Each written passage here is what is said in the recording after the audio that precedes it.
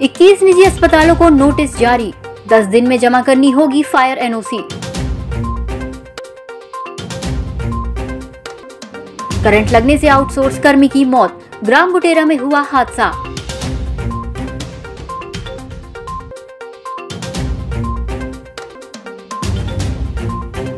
आधे घंटे की बारिश में डूबा छिंदवाड़ा, कई घरों में पानी भरा।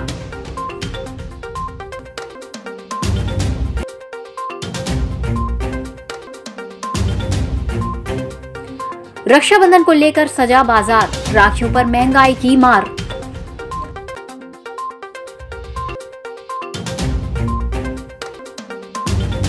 और कलेक्टर ने ली शिक्षा विभाग की बैठक, अधिकारियों को दिए आवश्यक दिशा निर्देश।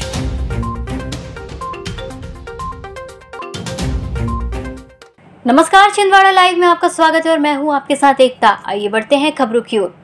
जबलपुर में हुए आगजनी के हादसे के बाद अब छिंदवाड़ा जिला प्रशासन भी चौकन्ना हो गया है। गुरुवार को जिला प्रशासन के निर्देश पर सीएमएचओ डॉक्टर जीसी चौरसिया के द्वारा परमानेंट फायर एनओसी प्रस्तुत करने संबंधित चेतावनी पत्र छिंदवाड़ा ज़िले के इक्कीस नामी गिरामी निजी अस्पतालों को दिए गए हैं।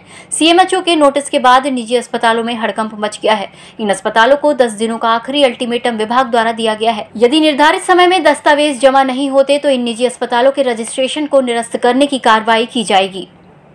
ग्राम गुटेरा निवासी 30 वर्षीय युवक की विद्युत पोल में काम करते समय करंट लगने से मौत हो गई, जिसके बाद पूरे विभाग में हड़कंप मच गया।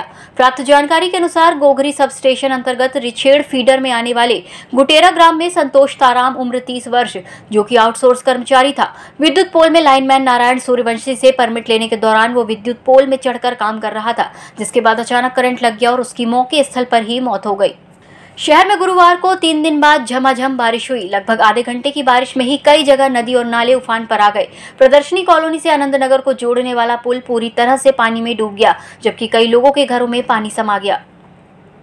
रक्षाबंधन त्योहार के कुछ ही दिन शेष रह गए हैं। भाई बहन के अटूट प्रेम और स्नेह के पर्व रक्षाबंधन में कलाई पर राखी बांधने का विशेष महत्व होता है। शहर में विविध रक्षाबंधन की राखियों का बाज़ार सज कर तैयार हो गया है। शहर के राखी विक्रेताओं ने बताया कि वर्तमान में तीन रुपए से लेकर पाँच सौ रुपए तक की राखी बाज़ार में उपलब्ध है। कोरोना काल के बाद कच्चे मटेरियल के दाम बढ़ने से राखी के भी दामों में बढ़ोतरी हुई है। कुछ आइटम पर जीएसटी लगने के कारण दामों में और ज़्यादा इजाफा हुआ है। इस बार राखी के दाम पंद्रह से पच्चीस प्रतिशत तक बढ़ गए हैं। बता दें कि राखी को लेकर स्थानीय जेल बगीचे के पास इतवारी बाज़ार। बुधवारी बाज़ार शनिचरा बाज़ार परासिया रोड में राखियों की दुकान सच कर तैयार है। यहाँ पर विविध किस्म की राखियाँ बिक रही है। पहले भी ठीक ठाक था ये मार्केट तो राखीच का है ना? पहले कोरोना के समय चल रहा था। उस समय बहुत कम था उसके हिसाब से महँगी आ रही है जीएसटी ज़्यादा लग रहा था महँगी बिकेगी। कलेक्टर सौरभ कुमार सुमन की अध्यक्षता में आज कलेक्टर कार्यालय के सभा कक्ष में जिला शिक्षा केंद्र, स्कूल शिक्षा और जनजाति कार्य विभागों की समीक्षा बैठक संपन्न हुई। बैठक में जिला शिक्षा अधिकारी अरविंद चौरागड़े, सहायक आयुक्त जनजाति कार्य एन एस बरकड़े, जिला परियोजना समन्वयक जिला शिक्षा केंद्र जे के इटपाचे, सभी बीईओ, एपीसी और अन्य अधिकारी उपस्थित थे। कलेक्टर ने बैठक में निर्देश दिए की ज़िले में शैक्षणिक गतिविधियों को गति प्रदान करे और शालाओं में शिक्षकों और विद्यार्थियों की उपस्थिति सुनिश्चित करे। इसके लिए एम शिक्षा मित्र पोर्टल के हाजिरी ऐप में दर्ज उपस्थित के आधार पर शिक्षकों का वेतन आहरित करे और अनुपस्थित रहने वाले शिक्षकों के विरुद्ध कार्यवाही करे। अब वक्त हो चला है फ़िलहाल छोटे से ब्रेक का। मिलते हैं ब्रेक के बाद। क्या आप संतान सुख से वंचित है? तो ना हो परेशान। अब आपके घर में भी गूंजेंगी किलकारी। कुसुम आई छिंदवाड़ा ज़िले का पहला एडवांस फर्टिलिटी एवं टेस्ट ट्यूब बेबी सेंटर जहाँ मिल रही है बंधत्व निवारण की सभी सुविधाएँ। 11 सितंबर 2020 को पहले टेस्ट ट्यूब बेबी के साथ शुरू हुई ढेरों सफलताओं के साथ सभी सुविधाएँ। अब आपके शहर में एक ही छत के नीचे एक्सपर्ट डॉक्टरों की टीम द्वारा सलाह, अंडा बनाने का इलाज आईवीएफ टेस्ट ट्यूब बेबी अंडा भ्रूण एवं बीज संग्रहण डोनर सर्विस निसंतान दंपति आज ही संपर्क करें। Kusum I Pandey nursing home एवं फ्रैक्चर हॉस्पिटल पोला ग्राउंड के पास छिंदवाड़ा।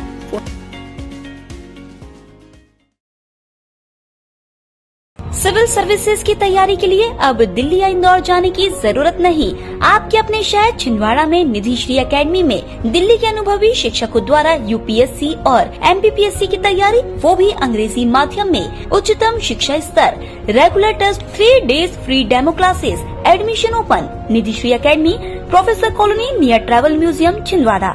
अधिक जानकारी के लिए संपर्क करें seven zero two four nine zero three triple six break के बाद एक बार फिर से स्वागत है। आइए बढ़ते हैं खबरों की ओर। इस्लाम धर्म के संस्थापक हज़रत पैगंबर मोहम्मद के नवासे हसन हुसैन की शहादत की याद में मुहर्रम पर ताजदारों ने ताजिए बनाए हैं। शहर के मुस्लिम बाहुल्य क्षेत्रों में करीब तीस स्थानों पर ये ताजिए बनाए गए हैं। मुहर्रम पर मुस्लिम समाज उनकी शहादत को याद करता है। इस अवसर पर मुहर्रम जुलूस में ताजिए निकाले जाते हैं। सात दिनों तक चलने वाले मुहर्रम पर आज से बाबाओं की सवारियाँ भी उठेंगी। इसके साथ ही मन्नत के शेर भी बनाए जाएँगे। अंजुमन कमेटी ने मुहर्रम पर्व पर व्यवस्था को लेकर जिला प्रशासन को व्यापक प्रबंध बनाने ज्ञापन दे दिया है। ये बकरीद की 25 तारीख से काम चालू कर रहे हैं और लगातार काम चल रहा है। तो आज ये मुहर्रम की 9 तारीख को उठेंगे और आज़ाद चौक से रिसाला मस्जिद जाएँगे और मुहर्रम की 10 तारीख को बेल बाज़ार जाएँगे, करबला चौक। मुहर्रम शुरू हो चुका है। इसको लेकर मुस्लिम बाहुल्य क्षेत्रों में दावते, खिचड़ा, शहीदी, तकरीर सहित अन्य आयोजन किए जा रहे हैं। मुहर्रम की सात तारीख, छह अगस्त को शहर के विविध स्थानों से बाबाओं की सवारियाँ भी उठेंगी। सात अगस्त को शहर की सबसे बड़ी बाबा नाले हैदर की सवारी भी उठेगी, जो शहर का सफ़र करेंगी। बाबा नाले हैदर की सवारी में बड़ा जनसमूह साथ होता है। इसके अलावा शहर में करीब तीस स्थानों से सवारियाँ उठती हैं, जबकि मुहर्रम का जुलूस नौ अगस्त को निकलेगा, जो बड़ा इमाम बाड़ा से छोटा बाज़ार, चौरसिया मोहल्ला, रॉयल चौक होते हुए करबला वाला मैदान पहुंचेगा। जुलूस में ताजिए सवारियाँ, मन्नत के शेर सहित हज़ारों की संख्या में लोग शामिल होंगे। पाँच तारीख से नौ तारीख तक ये लंगर बनाया जाता है। ये इमाम हुसैन की याद में बनाया जाता है। और हर साल ये पंद्रह सालों से चला आ रहा है।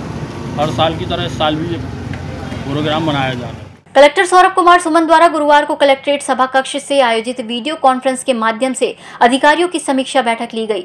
इस दौरान उन्होंने शासन के विभिन्न फ्लैगशिप कार्यक्रमों और अभियानों में प्रगति की विभागवार और विकास खंडवार विस्तृत समीक्षा करते हुए आवश्यक दिशा निर्देश दिए। बैठक में मुख्य रूप से हर घर तिरंगा अभियान की तैयारियों के अंतर्गत ध्वज वितरण, राशि संग्रहण और प्रचार प्रसार के लिए किए गए कार्यो, अंकुर अभियान की जनपदवार और नगरीय निकायवार प्रगति और अन्य विभागों को दिए गए लक्ष्यों की एक एक कर समीक्षा की गई। वंदना लॉल में देश के विख्यात कवि मैथिली शरण गुप्त की जयंती पर कार्यक्रम आयोजित किया गया। इस कार्यक्रम में गहोई समाज के द्वारा राष्ट्रीय कवि मैथिली शरण गुप्त को याद करते हुए उन्हें श्रद्धांजलि अर्पित की गई। कार्यक्रम में समाज के वक्ताओं के द्वारा कवि श्री गुप्त के जीवन पर प्रकाश डाला गया।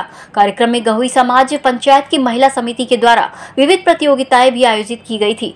नवीन कार्यकारिणी के द्वारा आने वाले समय में दीपावली मिलन समारोह और होली मिलन समारोह भी मनाया जाएगा।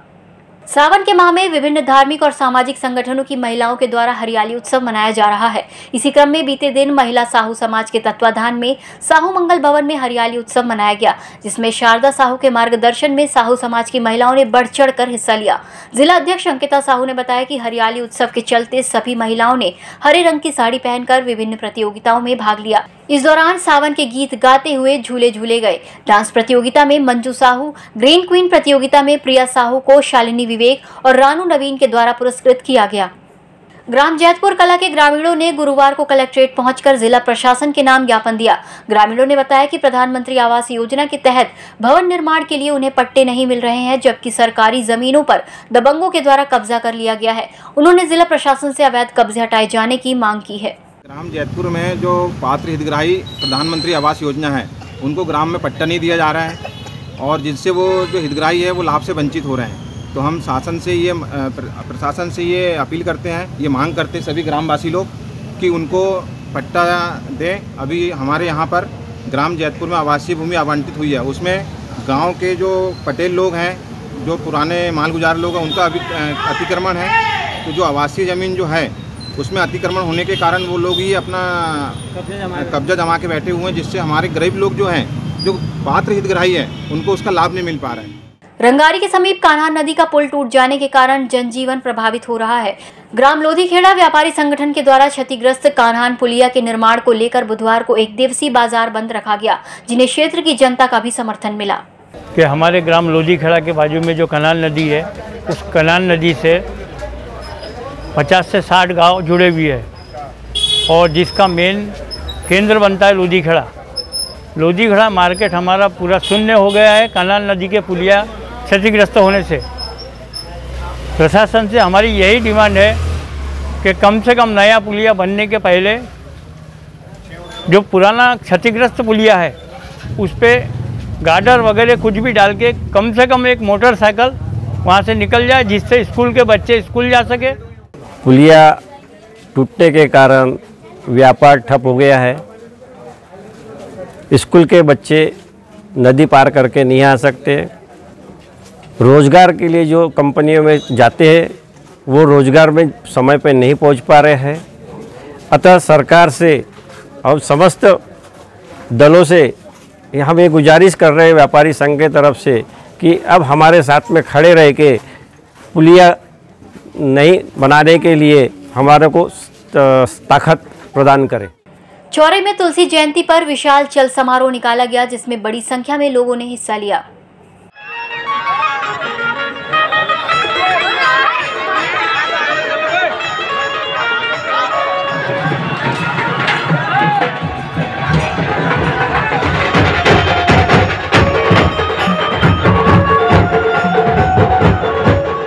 उमरेठ में महाविद्यालय खोलने की मांग और छात्रों को हो रहे परेशानियों की मांग को लेकर एनएसयूआई जिला अध्यक्ष अजय ठाकुर के नेतृत्व में बस स्टैंड में मुख्यमंत्री शिवराज सिंह का पुतला दहन किया गया और तहसील मुख्यालय पहुंचकर तहसीलदार को राज्यपाल के नाम ज्ञापन सौंपा गया।